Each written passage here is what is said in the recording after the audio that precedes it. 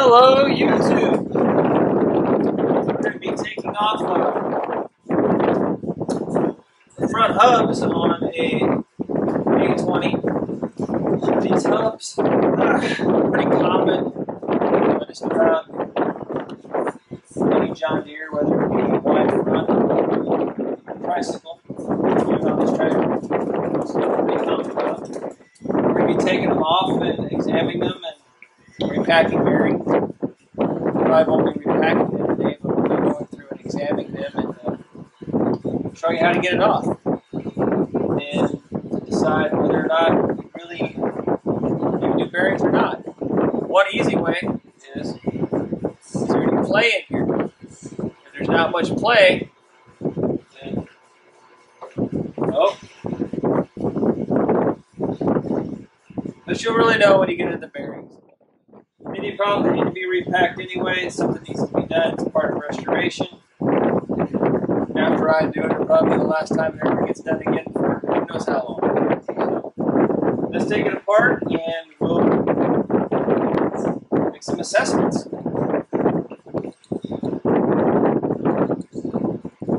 And I do hear a little bit of bearing noise. So we probably need some bearings. We're only going to do one on one side because after you see one, you'll be able to do two, no problem. So, and reassembling is just basically the opposite of what we're doing. So, disassembly should be able to tell you how to get it apart, how to make assessment of the bearings, whether you need ones or not, and you just put it back the way you took it apart. So, let's take this apart.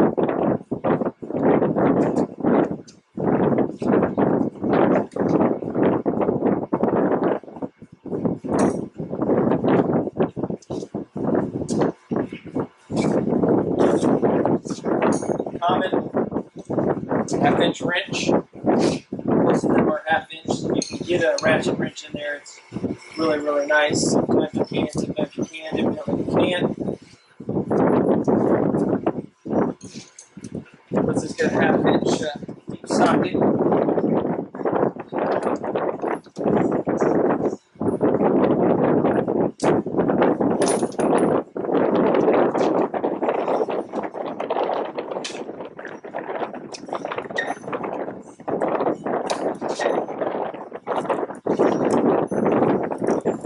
Make it pretty easy for us.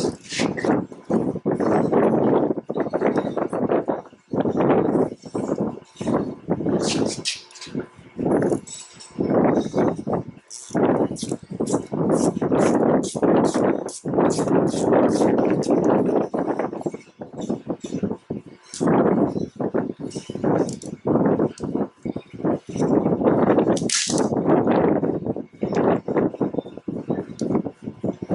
that works, sometimes it doesn't. Slapping the wrench real hard. Sometimes it'll knock it loose pretty easy for you. But it doesn't always work. Ah! Blue Pookie. Immediately tells me that somebody has been in here before. And why is there a blue cookie?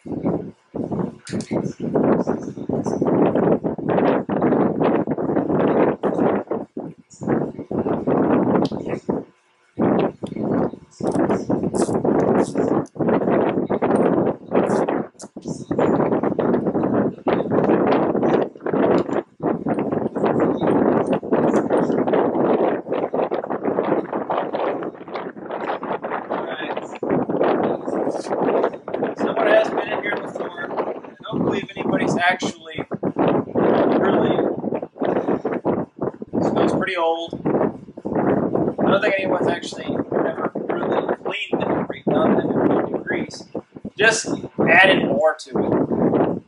And there's no gasket, but you're supposed to be a nice little gasket on it. And there's not. So, I've been into it, didn't put any new stuff. Basically, let's just do enough to get by and ship it down the road type of deal. Get rid of some of this grease.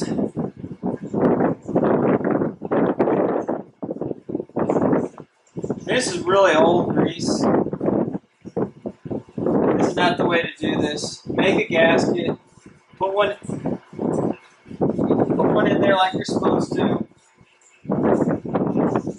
Don't have excuse the term, don't have, you know, do the job. And we got quite a bit of sludge in here. And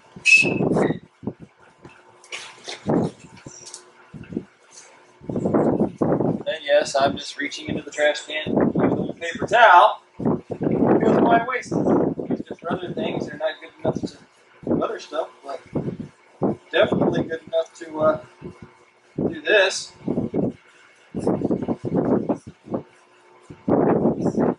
All right.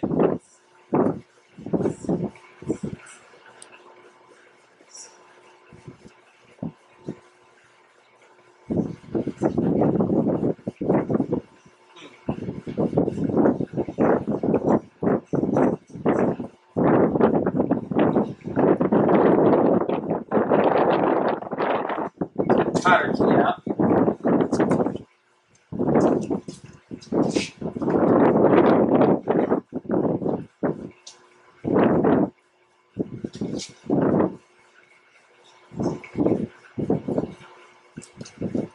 Now I don't know if you guys know this with cotter keys, but cotter keys are so much easier to get out with a pair of than pair of needles.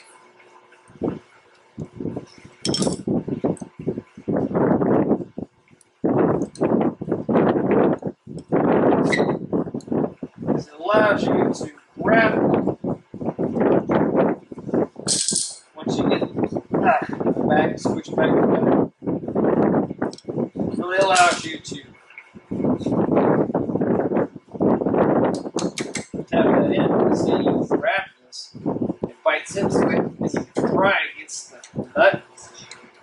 You're going to be using a new cotter key anyway,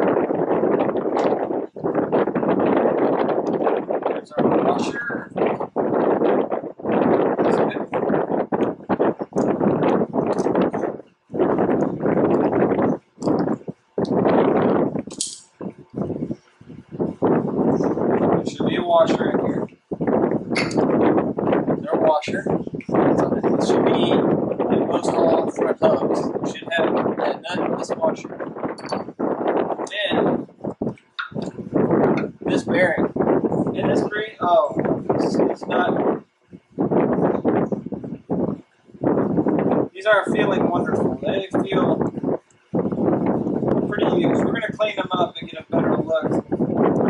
They're feeling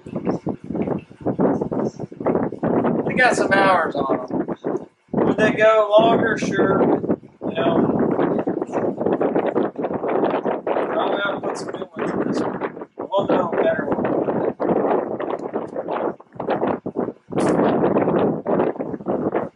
Are they get as much of this grease out of here as we can.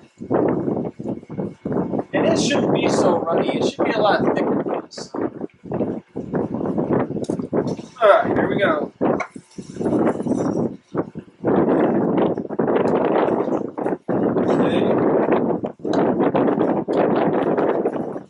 Okay. Dust seals.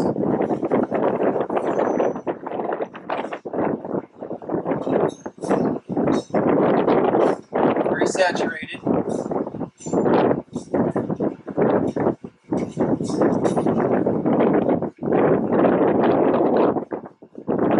Our, uh,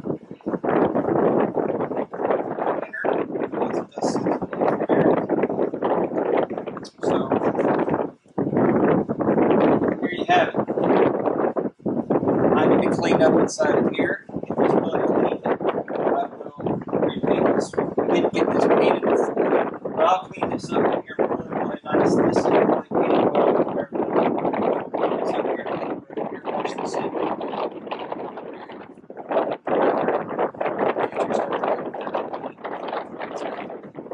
So turn on the camera for a minute. Clean this up. Disassemble it. Show you all the pieces and show you how to decide whether you should or shouldn't.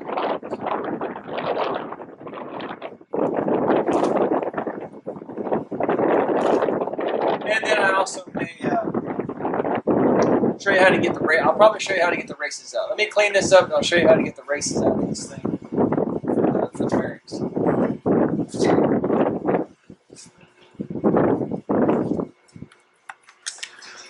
Okay, guys. Um, okay, we can see in there. Here is your. Uh, is what holds your dust cover. This this whole thing right here is what holds your dust packets that go in here to keep uh, sand, dust, and whatever from getting into this bearing. And inside of here, there are grooves. Having a hard time showing you. There are grooves in here. There they are. See that groove? Right down in there. See that groove? Those grooves are for you to stick a punch into and hit on. You stick your punch in there. These grooves are for you to stick your punch, as you can see, right in there. And you'd hammer on that. And they're on each side for upper and lower. And you'll pound out your race. Now, up here, you're not going to want to try to get this out first. The way to do that without damaging this, so you don't have to buy one. Remember, if you mess this up, you have to buy one. The way to get that out without damaging it, and the bearing is still in there. But the way to do this is look for those same grooves. Right, there's them grooves. And pound this out on each side. And that'll knock this race, these are the same race down here. It'll take the bearing, the race, and everything at one time. And should, should not damage this. Although I do see some indentions in there, and I don't know why that's there, but so let me get you set up on the bipod, guys, and you can watch me do this. Okay, guys, here we are. Now, I've got the wing set up, the little indentions here and this way, because if you hammer over here, it's not going to set real well on the vise. You don't want to put a ton of pressure on this cast iron in that in such a effect. You can, probably be all right, but when you do this, you want some backing here and some backing over here, which we have this, we have this. We hammer, we have strength. It out a whole lot easier. You don't have bounce, and the force from the hammering goes directly to move out the ring, I mean the, the bearing, the race, and the dust cover holder. Believe that's what it's called. So here's the pain in the butt part. Bam. And you work from side to side, hit the race, not the bearing. You go from side to side. Now some of these will be a lot easier than others, and some of these will be harder.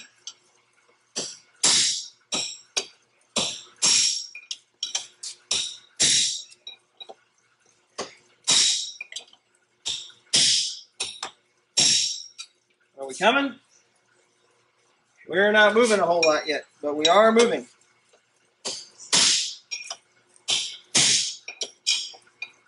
Try not to hit the bearing. Only the race in there. Because if the bearing's good, you don't want to uh, ruin that. You know, for sure buying a bearing. But in this application, I think I'm probably getting the bearings.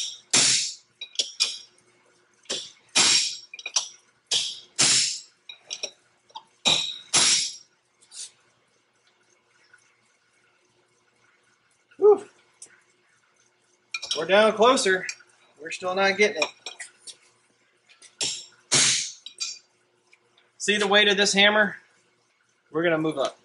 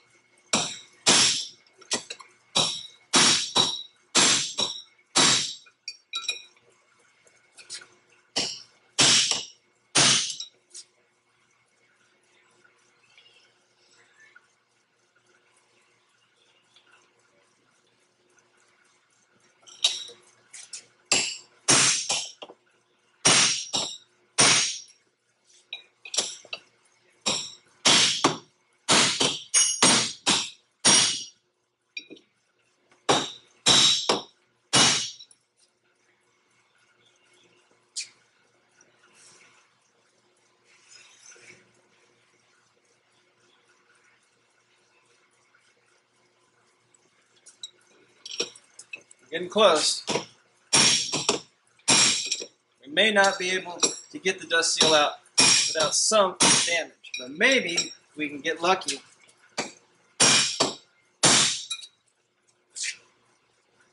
And be able to flatten it back out. Be able to use it. It is vitally important that you hit the race, not the bearing. Race, not bearing. Not make this too tight on here. This is, you know, cone shape. You can put stress on this and break it.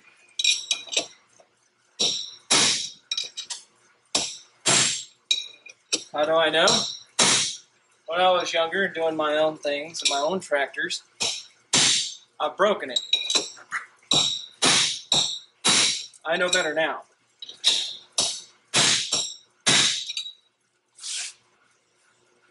Ah, we're getting there.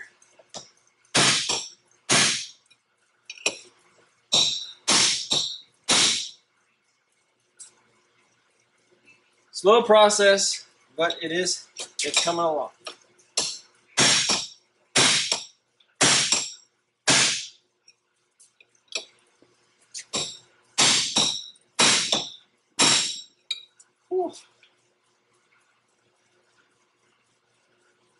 Ah. Uh.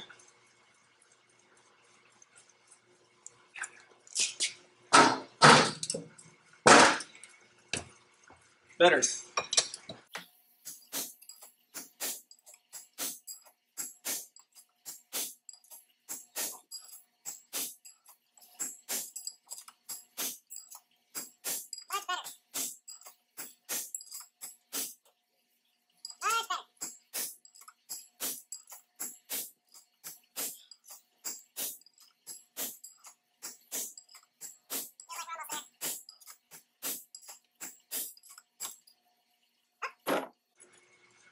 Got the dust cover and we've got the bearing.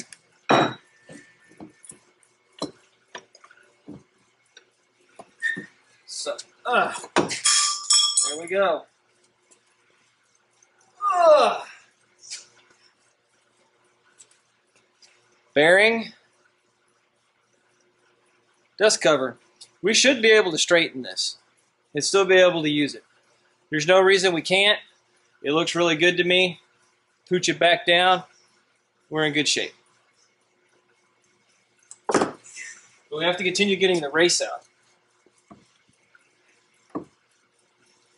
And the race is what the bearing rides. We're almost there with that too.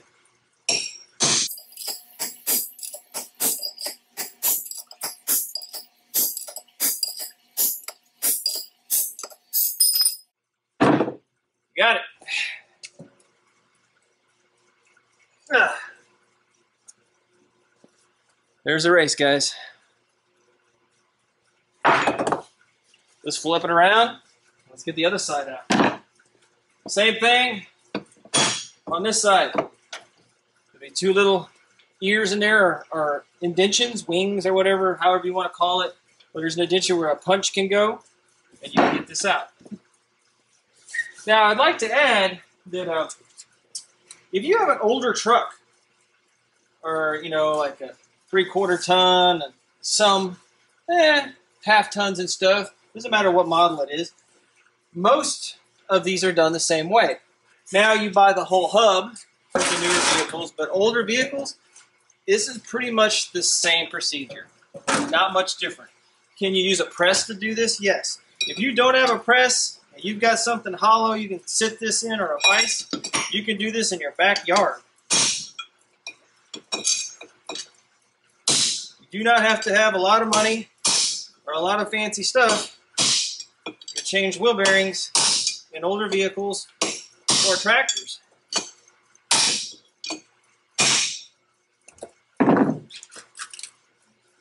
You just don't, guys. You just don't.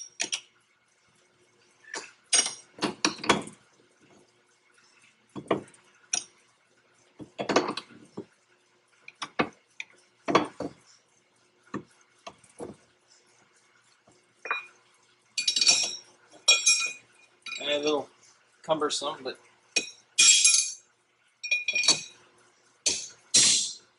we're almost out though. We're not, not much to, to go.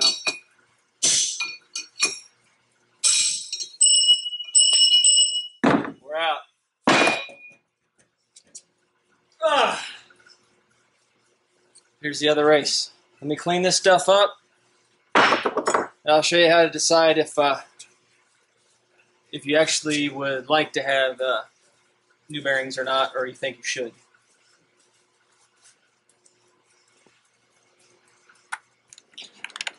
All right, first thing you want to do is inspect your spindle. Make sure that there's it's not real pitted or not too tore up or no big gouges and you don't have any of that and it's not real bad and if you do take your file file it off you'll be fine I want to check that first and this spindle feels good looks good to me definitely work.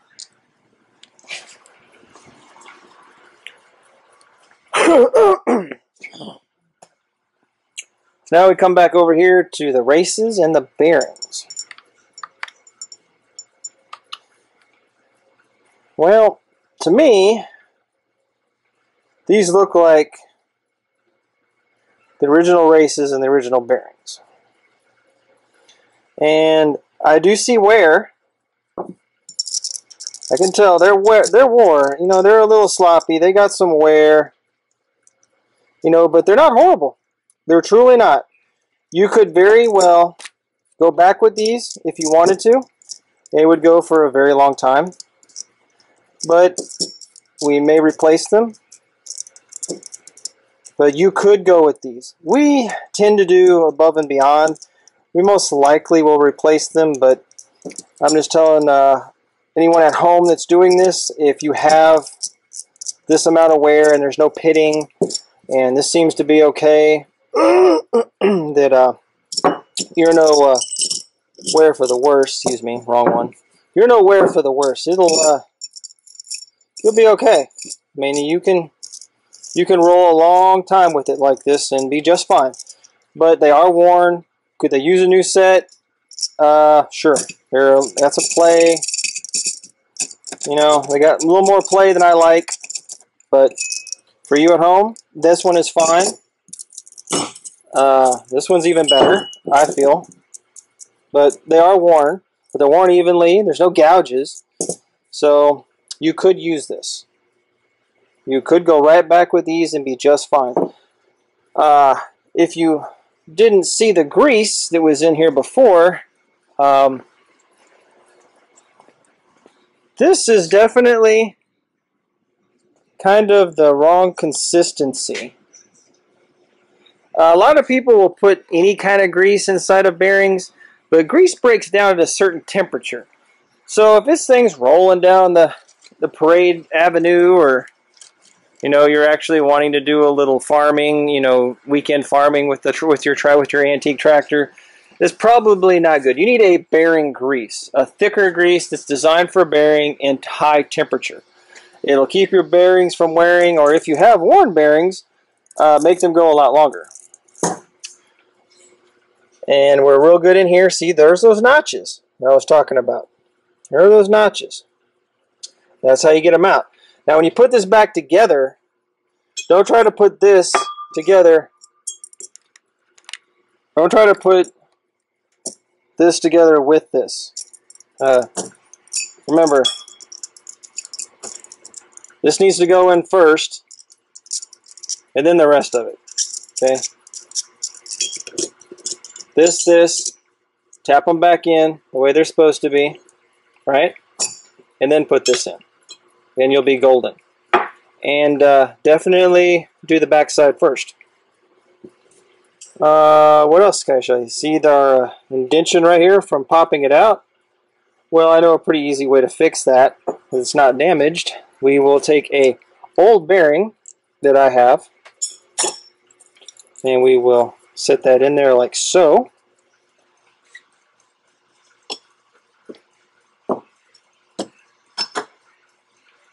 It's somewhat centered. Doesn't have to be perfect. We're just tapping it back in. You probably don't even have to do this right now. You probably actually do it when you put it in. See, we're already starting to go back.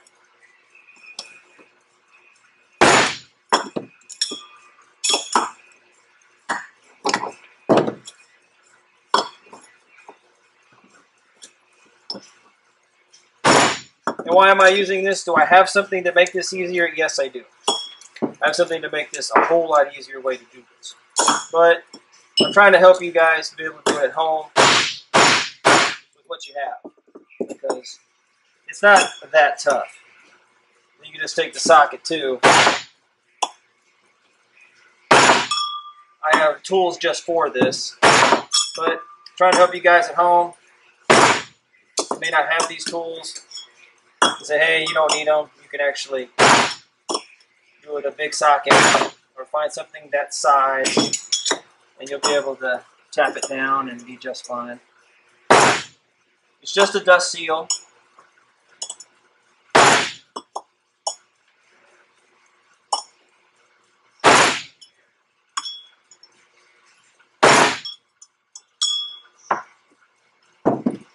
Once you get it down so far, you can actually go in with a hammer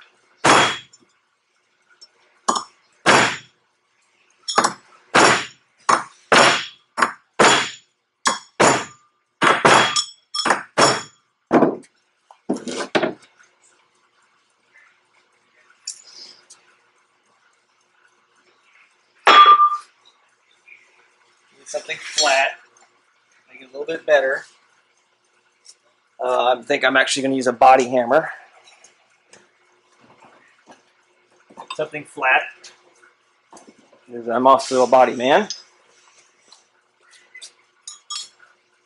Find you a nice flat hammer.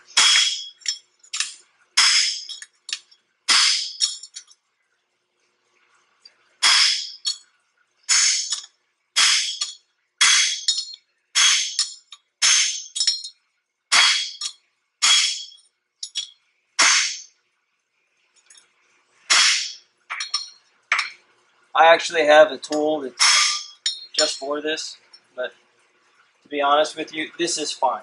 It's just a dust seal.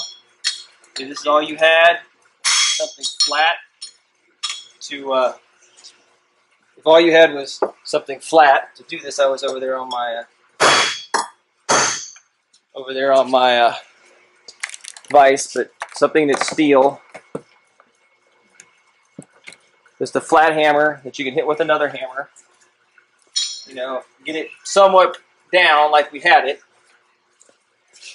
with something that's that size.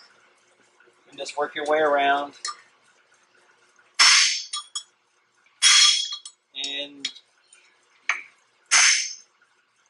you're golden. And you're really good. Because that's all this does is uh, hold in the dust seal that goes inside of here. I'll move you back to where that's at.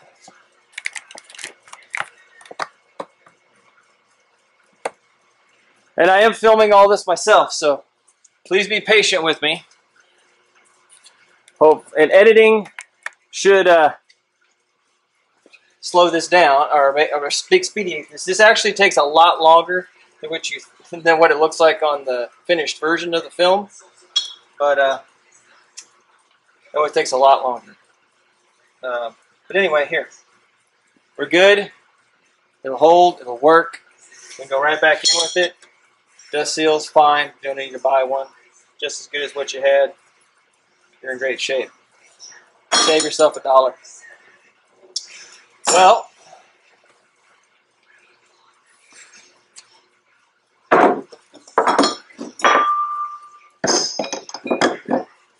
this is uh, that's it on how to uh, take apart a set of hubs on a John Deere tractor uh, at least one hub. That's what you're looking for. Uh, you know how to what you're looking for in your bearings. You know scores, races, burrs, anything. Uh, you know what'll work, won't won't work. I would advise anything any looser than this, do not. You know, get new ones. But if this is all you got, this would work for a long time. They're not horrible. Uh, something like this, which is out of a, is out of a bearing, which is if, if we were seeing this these real bad pits, like out of this bearing, uh, no way, no way, no. Do not use this, throw this bearing away. I, I just happen to keep this bearing around to do what I just did with it.